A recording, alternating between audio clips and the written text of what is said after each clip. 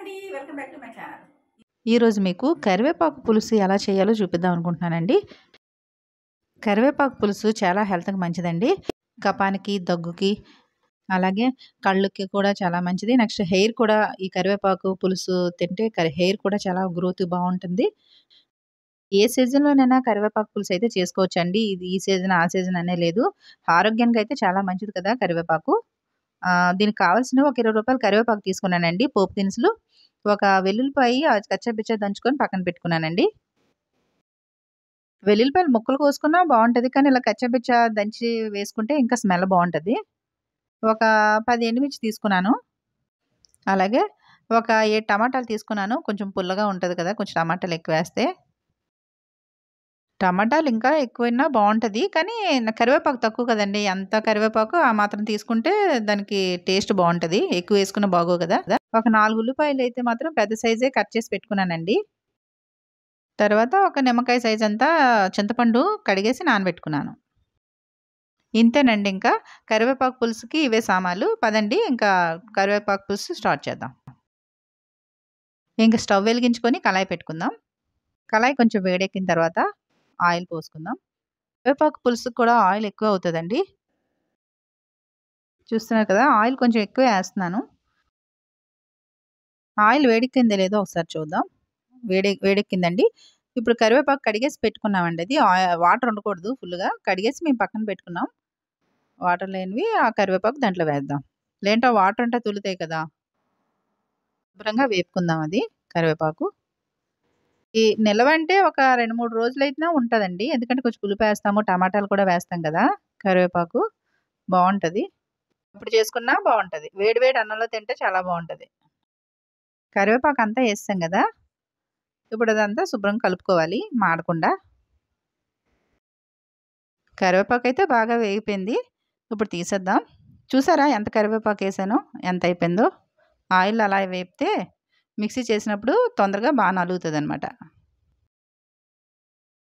ఒక ప్లేట్ తీసుకొని ఇంకా కరివేపాకు అంతా తీసేద్దాం వేపిందంతా కరివేపాకు ఎలా వేగిందంటే ఆ కరివేపాకు ఆకును పట్టుకొని చూస్తే పొడిలాగా అయిపోతుంది. అంత బాగా వేగిందనమాట. అలా వేగితే బాగా బాగుంటుంది అనమాట తర్వాత వెల్లుల్లిపాయలు కూడా వేసేసుకున్నానండి. అవి కచ్చాపచ్చా దంచి పక్కన పెట్టుకున్నాను అన్నాను కదా అవి వేసేసాను. అవి వేగుతుంటే స్మెల్ భలే ఉంటుంది. వెల్లుల్లిపాయ స్మెల్ బాగుంటుంది కదా. చాలా వేగిన తర్వాత ఇంకా చాలా బాగుంది. అవి కూడా బాగా వేపుకోవాలి. చూస్తున్నారు కదా వెల్లుల్లిపాయలు వేపి తీసి పక్కన పెట్టేసుకుంటున్నాను. బ్రౌన్ కలర్ రావాలండి. స్మెల్ కూడా బాగుంటుంది. బ్రౌన్ కలర్ వచ్చేటట్టు వేపుకొని అవి కూడా తీసేసి పక్కన పెట్టేసుకున్నాను. కరివేపాకు వెల్లుల్లిపాయలు కలిపేసానులేండి ఒకే ప్లేట్లోనే పెట్టుకున్నాను. వేరువేరుగా పెట్టుకోలేదు. ఒక ప్లేట్లోనే వేసాను అంటే ఇవన్నీ కలిపి మిక్సీ పెడదాం అనమాట అందుకోసమని. ఒక ప్లేట్లో తీసుకున్నాను కదండి. అది తీసుకొని పక్కన పెట్టేసుకున్నాను. తర్వాత అదే కళాయిలో మరి కొంచెం ఆయిల్ వేసుకోవాలి. ఆయిల్ వేడెక్కిన తర్వాత కొంచెం పోపు దినుసులు అయితే వేసేసుకోవాలి. తర్వాత ఎండుమిర్చి కూడా వేసేసుకోవాలి. అవి కూడా కొంచెం బ్రౌన్ కలర్ వచ్చినంత వరకు వేపుకోవాలి. ఎండుమిర్చి కొంచెం వేగిన తర్వాత ఆనియన్స్ ఇందాక కట్ చేసి పెట్టుకున్నాం కదండి అవి వేసేసుకోవాలి. నాలుగు ఉల్లిపాయలు అండి పెద్ద సైజే తీసుకున్నాను అవి వేసేసాను. ఆ రెండు కలుపుకోవాలి శుభ్రంగా. ఆ రెండు బాగా బ్రౌన్ కలర్ రావాలి. బ్రౌన్ కలర్ వచ్చినంత వరకు బాగా వేపుకుంటే ఇలాంటి కరివేపాకు పులుసులు ఇలాంటివి తినాలండి? అప్పుడప్పుడు ఒక టూ మంత్స్కి ఒకసారైనా తినాలి. ఎందుకంటే ఈ ఆకు ఆకుకూరలు కదా బాగుంటాయి. హెల్త్కి మంచిది అంతే. హెయిర్కి కళ్ళకు కూడా మంచిది కదా కరివేపాకు. చూస్తున్నారు కదండి బ్రౌన్ కలర్లో వచ్చింది కొంచెం. తర్వాత టమాటాలు వేసేసుకోవాలి.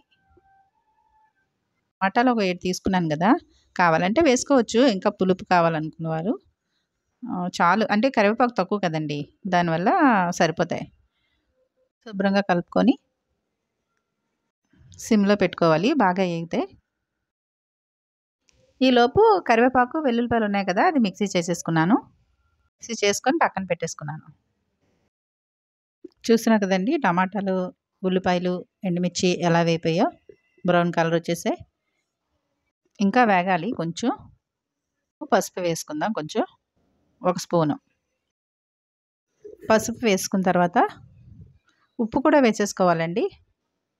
ఉప్పు కూడా వేసేసుకున్నాం తగినంత. ఒకసారి కలిపేసుకోవాలి. శుభ్రంగా కలిపేసుకొని. కలిపేసుకున్న తర్వాత ధనియాల జీలకర్ర పొడి ఉంటే వేసుకోండి. లేదంటే లేదు. ఇది ఆప్షనలే. నేనైతే వేసుకుంటున్నాను. నా దగ్గర పొడి ఉంది. అందుకే కొంచెం వేసుకుంటున్నాను. టేస్ట్ బాగుంటుంది కదా. మళ్ళీ శుభ్రం కలిపేసుకోవడమే. శుభ్రంగా వేగిపోతున్నాయి నేను. చూసారా టమాటాలు ఉల్లిపాయలు ఎండుమిర్చి అన్నీ ఎలా అయిపోయాయో? బ్రౌన్ కలర్ వచ్చేసాయి. ఈ పసుపు ఉప్పు కూడా వేసాం కదా. అవి కూడా కొంచెం పచ్చివాసన పసుపు పోయినది. ఇప్పుడు కారం కూడా వేసేసుకోవాలి. ఒక టూ స్పూన్స్ వేశారు. వేసిన తర్వాత కారం కూడా పచ్చివాసన పోయినంత వరకు మరోసారి బాగా కలిపేసుకుంటే పచ్చివాసన పోతుంది. కొంచెం వేగి పచ్చివాసన పోయిందండి. తర్వాత మనం మిక్సీ చేసుకున్నాం కదా ఇందాక కరివేపాకు వెల్లుల్లిపాయ పేస్ట్ అది వేసేసుకోవాలి. వేసేసుకున్న తర్వాత మరోసారి కలిపేసుకోవాలి బాగా. ప్రాసెస్ కొంచెం ఎక్కువే ఒక రుచిగా వండుకోవాలంటే కొంచెం టైమే పడుతుంది మరి. అలా కొంచెం దగ్గరుండి కలుపుకుంటే అడుగు పట్టవు కదండి. అందుకోసమనే దగ్గరుండి అలా కలుపుతున్నారు. కరివేపాకు పులుసు దగ్గరికి అయిపోయింది. అయిపోయింది ఇంకా. ప్రాసెస్ అంతా అయిపోయింది. వేసాం కదా. చింతపండు నానబెట్టుకున్నాం కదండి ఇందాక నిమ్మకాయ సైజ్ అంతా. అది పులుపు తీసి వేసేసుకున్నాం. వేసేసుకొని ఆల్రెడీ సాల్ట్ వేసాము. ఒకసారి మరోసారి సాల్ట్ చూసి ఒక ఫైవ్ మినిట్స్ అలా అయిన తర్వాత ఇంకా ఆపేసుకోవడమే అయిపోయినట్టే ఇంకా. చూస్తున్నారు కదండి. ఎలా అయిందో చిక్కగా ఇంకా ఆపేసుకుందాం. అయిపోయింది కరివేపాకు పులుసు. ఎంతో రుచికరమైన కరివేపాకు పులుసు రెడీ అయిపోయిందండి. ఆరోగ్యానికి ఎంతో మంచిది పులుసు. ఒకసారి ట్రై చేయండి. ఓకే అండి. నచ్చితే లైక్ చేయండి షేర్ చేయండి సబ్స్క్రైబ్ చేయండి. బాయ్.